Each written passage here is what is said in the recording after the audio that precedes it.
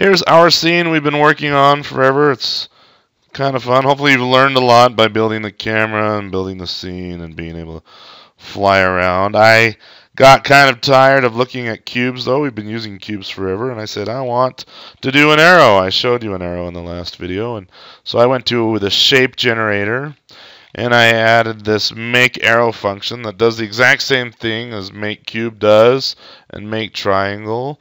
I simply throw all this data onto the stack. Look at me, I painstakingly typed all this in. Uh, after it's on the stack, then we instantiate it out on the heap, copy it to the heap, mem copy. Same thing with the indices, put it on the stack, copy it out to the heap so that we can return it. Then in our GL window, I don't have to say make cube, I can say make arrow, build that, run that, and with this one little change, instead of having cubes, we now have arrows, which is really cool. A nice thing about arrows is that they have a direction. Whereas the cubes, we kind of had to memorize what colors were on what side. With the arrows, we can quickly identify which way is forward, and that's nice. I actually felt bad for doing all this arrow code offline, uh, but I didn't think it'd be a very interesting video seeing me type all this in. I should upload this to my website so you can download it. Otherwise, you could just type it in, copy it off the video. That's yeah, that's that'd be painful. Maybe if I get enough requests to upload this, then uh, in the comments, that'd be a good thing. Make a comment, I can put it up for you. Anyway, I can make an arrow, I send that data down. Now I also made some other changes. Remember we were doing our instancing in the previous videos the correct way. We were instancing using buffer data because that's nice and clean and we can render several instances with one draw call. I want to talk about vertex arrays and as I was trying to get the vertex arrays video going, the instancing code was just getting in my way. It was too much of a pain. So I went to the slower old school way of going back. To, well, it's not old school. It's just not as efficient.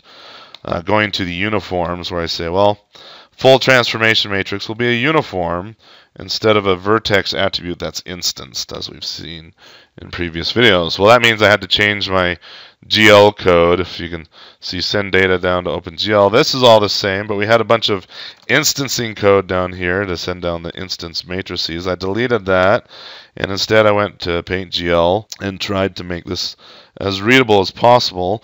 We have our view to projection matrix. We've talked about that several times. We have our world to view matrix. And then to optimize this a little bit, I said, well, let's have a world to projection matrix. This matrix will move the world in front of the camera and also project the scene into projected space. And all I had to do was multiply the two the two above said matrices into one matrix and combine it there. It's a simple optimization.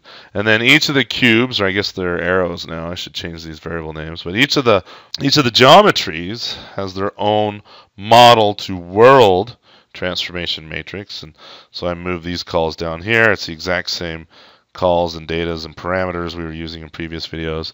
And then to get the full transformation matrix, I combine the world to projection matrix, this matrix, with that one model matrix. That is our full transformation matrix. And I send that down the old clunky way using the uniform data, and I say draw. And then for the second geometry, I give it a different world or model to world transformation matrix. Combine that with the world to projection matrix and that model matrix, making the full transformation matrix.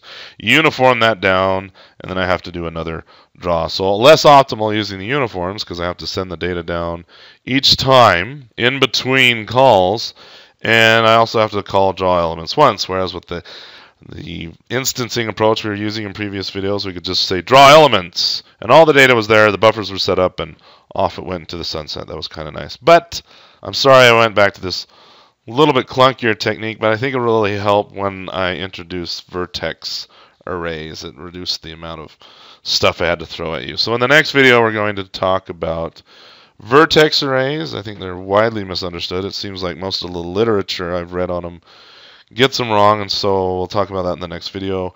And then hopefully we can go back to the instancing code soon so we don't have this clunky approach, but eh, who knows.